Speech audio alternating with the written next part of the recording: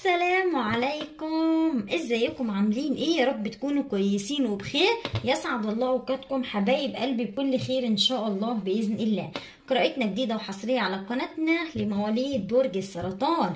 برج السرطان صلوا على الحبيب عليه أفضل الصلاة والسلام. كتروا في الاستغفار وفي الدعاء علشان بيغير القدر. التصوير بالكاميرا الأمامية في برج السرطان فالصورة بتدي معاك العكس. يا ريت تخلي بالك من النقطة دي. صلي على الحبيب كل سنة وإنت طيب كل سنة وإنتوا طيبين جميعا. يا رب يعود عليكم الأيام بخير والأيام اللي جاية. يا رب بفضل ربنا سبحانه الله وتعالى يكرمكم من حيث لا تحتسب ويعوضكم عن كل دمعة عين نزلت منكم يا برج السرطان. الصورة اللي هتطلع لكم هي اللي هتقروها الفترة دي. بسم الله. سورة الإسراء. سورة الإسراء ده بيدل إن أنتوا آه الأيام دي في أشد الحاجة لربنا. يعني بسم الله ما شاء الله عليكم. الفترة دي أنتوا يعني عندكم كده أمور فيها آه طاقة عندكم آه دعوة مستجابة عندكم تسديد ديون آه حاجات هتفعلوها جديد. بس في غلطة غلطتوها الفترة دي والغلطة دي أنتوا مازال بتدفعوا تمنها. عندكم أموال جاية لكم حاولوا تستغلوها صح وتمسكوا الطريق من البداية. امسكوا الخيط كده من البداية وامشوا عليه. عندكم وعد الفترة دي والفترة دي هيكون طاقة مختلفة ليكم. كمان أنتوا هنا زعلانين قوي على نفسكم والزعل ده آه بسبب خيانة وغدر أحد أخد مال منكم. وعشان كده قررتوا إن أنتوا تبعدوا عن أي حد عامل لكم مشاكل سلبية في حياتكم. نقول إن أنتوا اليومين دول في طاقة متحكمة فيكم. الطاقة اللي متحكمة فيكم دي هي اللي مخلياكم حيرانين جدا. آه مخلياكم شايلين هم الدنيا فوق دماغكم وده أكبر غلط. لازم الطاقة دي في أسرع وقت تحصنوا نفسكم. أنتوا أصلا حد ناس كتيرة جدا بتقول لكم إن أنتوا مسحورين ناس كتيرة جدا بتقول لكم إن أنتوا حد عامل لكم عمل بس أنتوا شجاعتكم وثقتكم بنفسكم أنتوا ما بتعرفوش تصدقوا الكلام ده. فيا ريت تخلوا بالكم الفترة دي من نفسكم ودايما تحصنوا نفسكم قوي. عملوا لكم سحر فرقوكم بينكم وبين الشريك. خلوكم أنتوا ماشيين في طريق والشريك ماشي في طريق تاني. السحر فعلا أنتوا معمول لكم سحر بالتفريق. أنتوا مش معمول لكم سحر وقف الحال سحر التفريق. وسحر التفريق ده من وراه ضغوط نفسية من وراه حيرة مش عارفين تاخدوا قرار ولا عارفين حتى تكونوا مع الشريك كل اللي عليكم ان أنتوا عندكم ذبذبة في دماغكم. من ناحية الماديات الماديات عندكم في قمة الازدهار لا إما هتكون لا إما أنتوا عندكم شغل حلو جدا بتشتغلوا منه لا إما أنتوا فاتحين مشروع فاتحين حاجة جاية لكم مصدر حلو جدا منها. الله أعلم في طاقات إيجابية ليكم وفي أخبار تخصكم أنتوا على جميع الأسر. كمان أنتوا هنا بسم الله في طاقة جديدة. أو طاقة معينة أنتوا ناويين تشتغلوا عليها ناويين تسعوا من تجديد من أمور من طاقات تانية أو من حاجات مختلفة.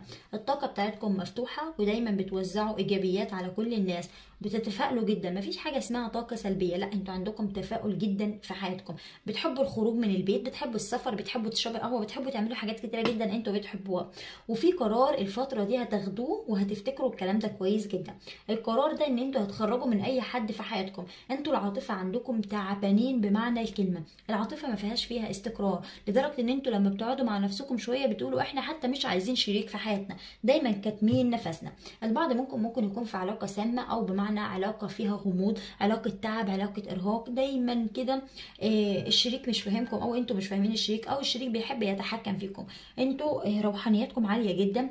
آه لما بتحبوا بتحبوا حب مش حب التملك بس بتحبوا إن الشخص ده يكون يخصكم أنتوا. الشخص ده بتاعكم أنتوا. الشخص ده ليكم أنتوا الشخص ده ما حدش يجي عنده الشخص ده ما حدش يكلمه. دايما ماشيين بالمبادئ بالمبادئ دي والشريك ما بيستحملش طبعا الكلام ده بيحس إن أنتوا في إيه؟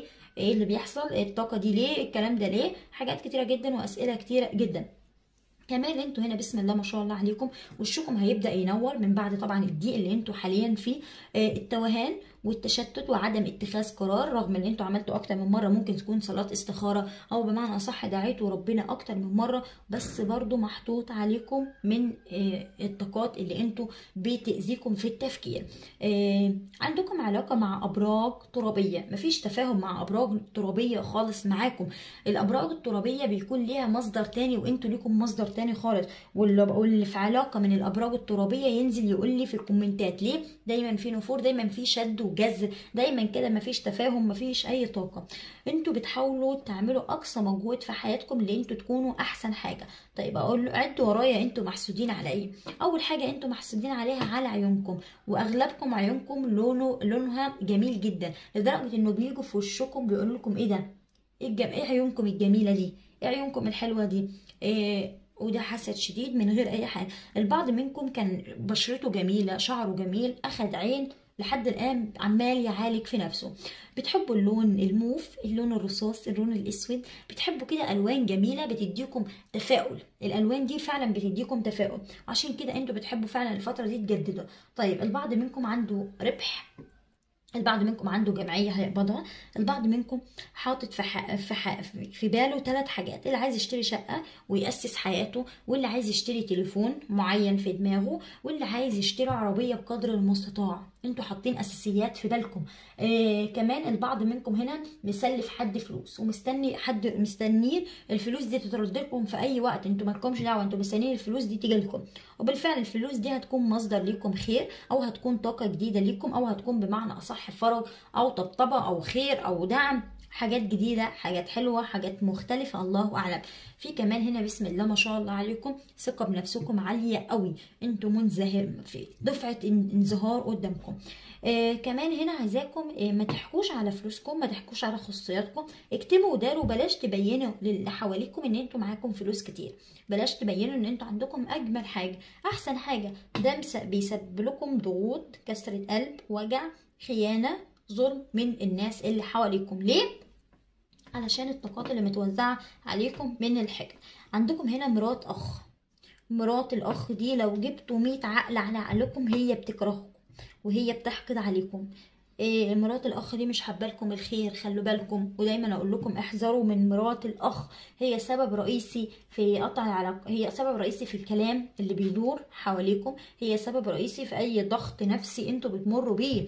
أنتوا هنا حزانة قوي وبتسألوا نفسكم يا هل ترى إحنا عملنا إيه لدرجة إن أنتوا تعملوا فينا كده؟ فانتوا قررتوا إن أنتوا تنجحوا وقررتوا إن أنتوا تكونوا رقم واحد في أي حاجة. طاقة جديدة طاقة معينة طاقة مختلفة حاجات كتيرة حاجات مختلفة الله أعلم. بتفكروا في حاجات كتيرة جدا تديكم دفعة لقدام في النجاح. وبالفعل نجاحكم عالي نجاحكم كله ازدهار نجاحكم كله ثقة بالنفس. بسم الله ما شاء الله عليكم. دفعتكم دايما لقدام هي اللي بتكون سبب رئيسي في اللي أنتوا تطلعوا من أي حاجة في حياتكم. آه كمان أنتوا الفترة دي بتقربوا من ربنا جدا.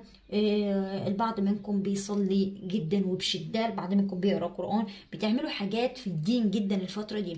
في صدقة أو في ندر أو في حاجة عايزين تقفوا بيها أو عايزين تطلعوا حاجة لله كبيرة جدا وشغالين عليها.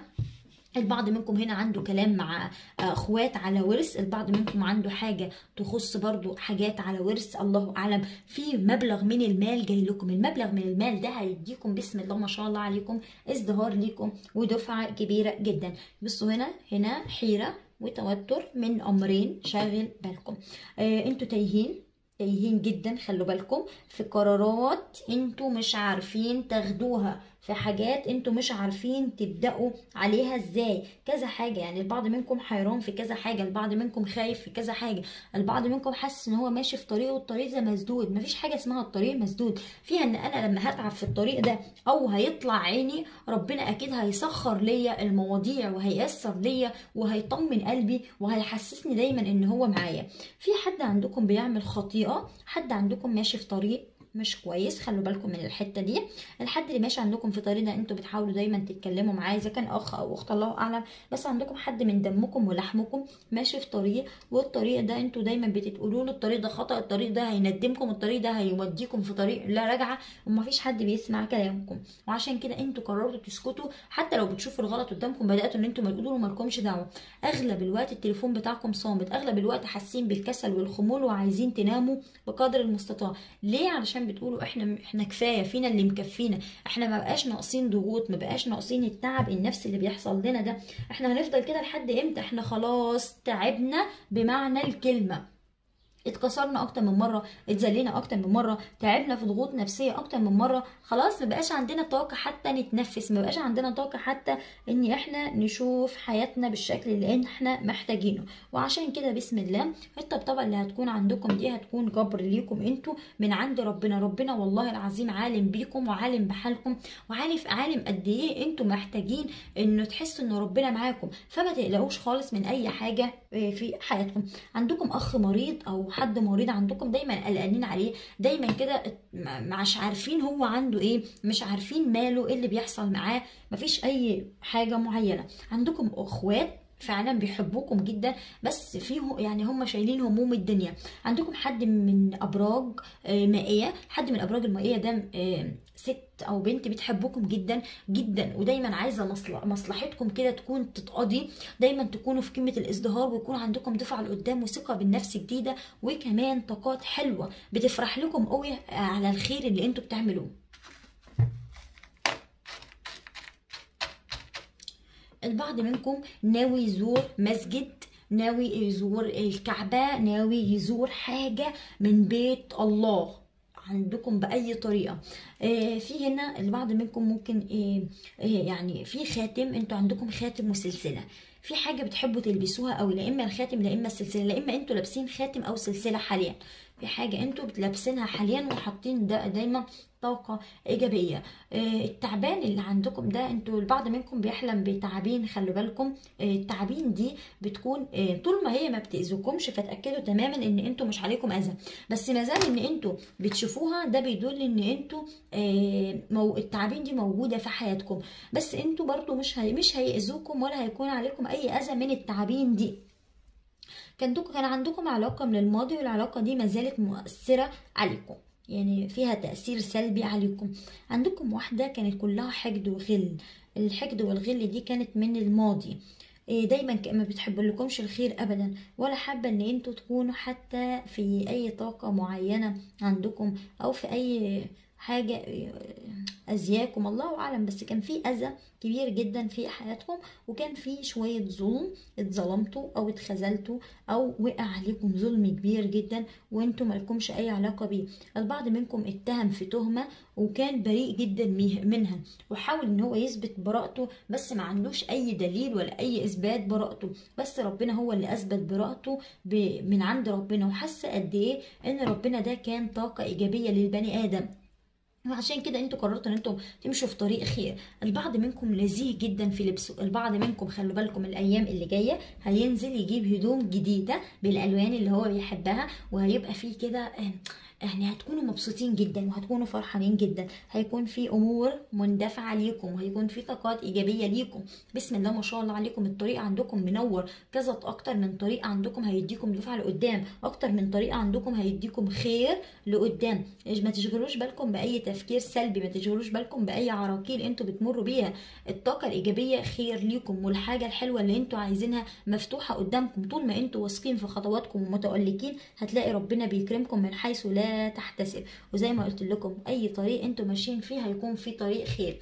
في كمان مكالمة تليفون حد هيكلمكم وهيحتاج منكم لا اما مال لا اما هيحتاج منكم تقفوا جنبه. الله أعلم بس هو هيطلب فعلا المساعدة وأنتوا فورا هتقفوا وهتساعدوا من غير حتى ما تتكلموا كتير أو من غير ما تعملوا أي حاجة. ليه؟ علشان أنتوا جدا بتحبوا بتحبوا الخير قوي وبتحبوا تساعدوا الناس اللي حواليكم. بس بتقولوا إيه؟ لو الناس دي فعلا تستاهل إحنا نفديها بروحنا ده اللي أنتوا حاليا بتفكروا فيه. بتقولوا إحنا لازم نساعد الأشخاص اللي هي محتاجانا وعشان كده أنتوا عندكم قرار هتاخدوه. القرار ده هيحدد مصير حياتكم. في شخص بيخدعكم في حياتكم الشخص ده بقاله أكتر من شهر موجود وبيخدع فيكم. خلوا بالكم. آه كمان هنا عايزاكم تمسكوا على ايدكم شوية وبلاش التبذير على الفاضي وعلى المليان. أنتوا مصرفين جدا. اي نعم أنتوا لو قعدتوا تفكروا هتقولوا إحنا ما بنصرفش إحنا بنجيب لزوم بيتنا لزوم حياتنا. بس مش كده. هدوا اللعب شوية واهدوا علشان اللي أنتوا فيه ده غلط وفي ظلم كبير جدا. ان أنتوا عمالين ترموا عمالين تدوا عمالين تعملوا حاجات مختلفة فلازم تهدوا كده شوية.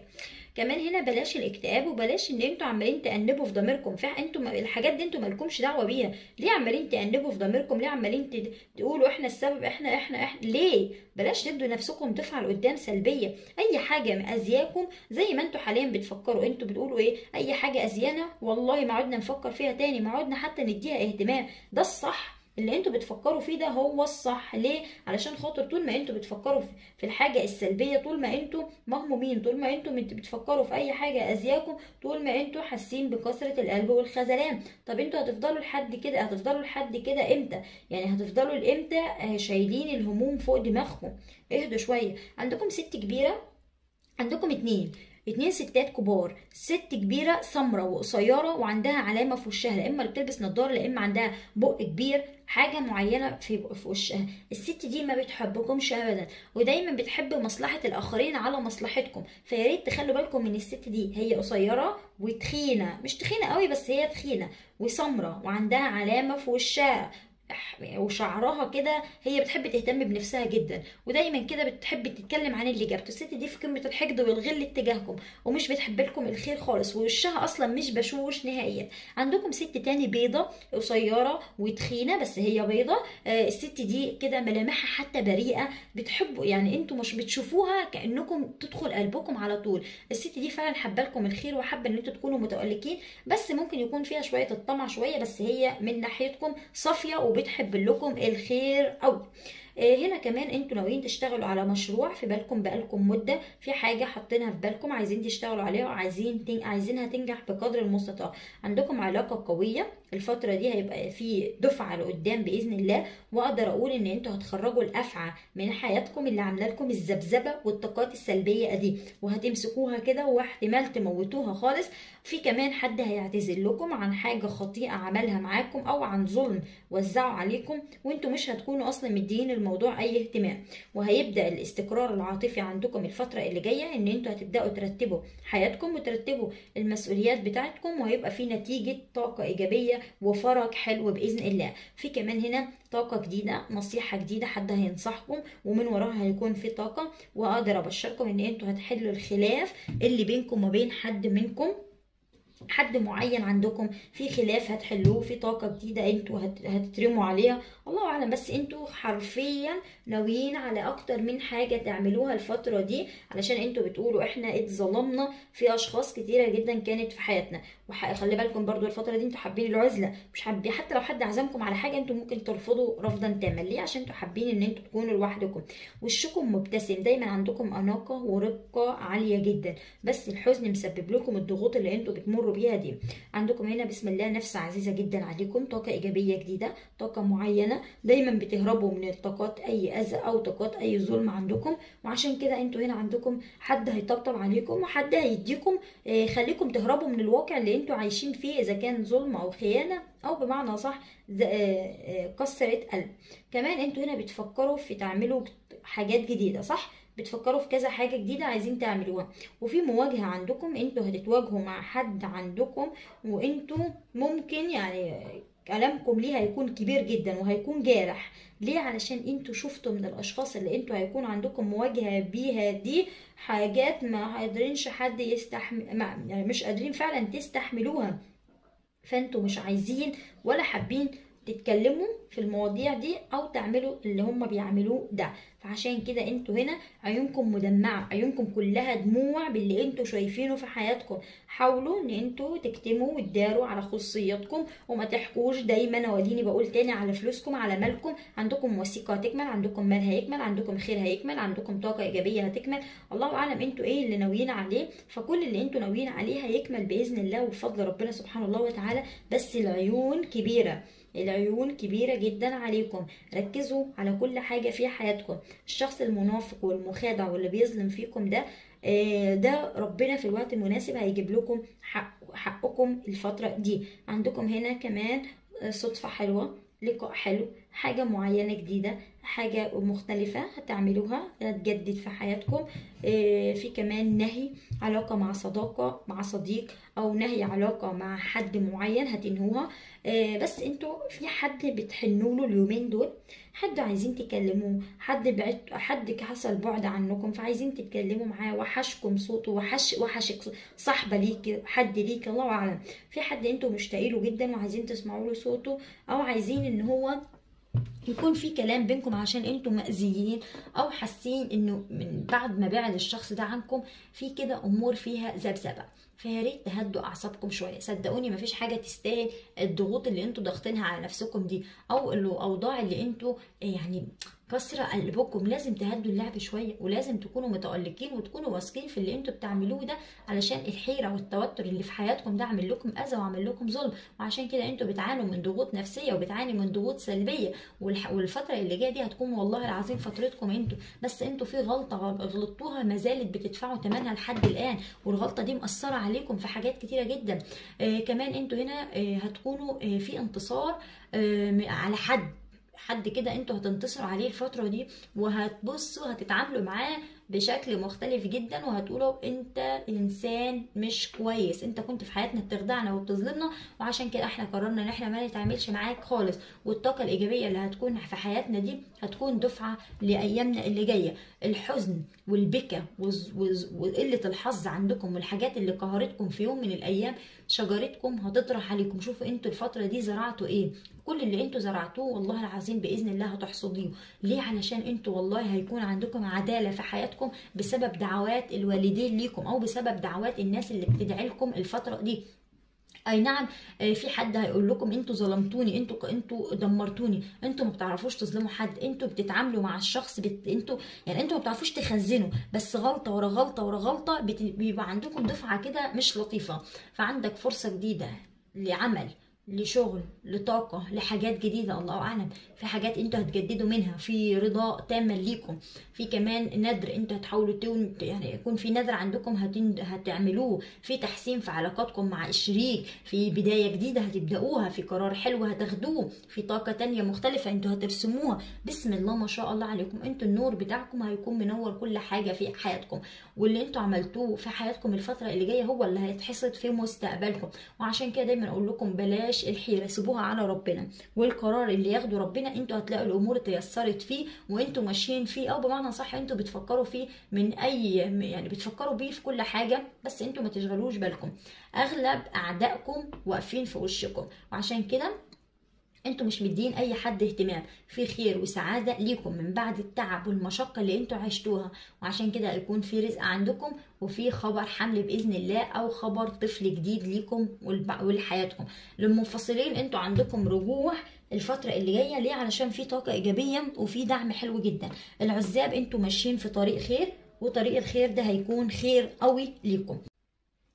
يا رب تكون قراءتنا عجبتكم النهارده ونالت إعجابكم حبايب قلبي. وما تنسوش تشجعوني باللايك الحلو وبالتعليق الجميل اللي بتصلوا بيه على الحبيب. وإن شاء الله بإذن الله انزل لكم استخارات أقوى من كده وتكون تدخل القلب. وبإذن الله ربنا يكرمكم من حيث لا تحتسب.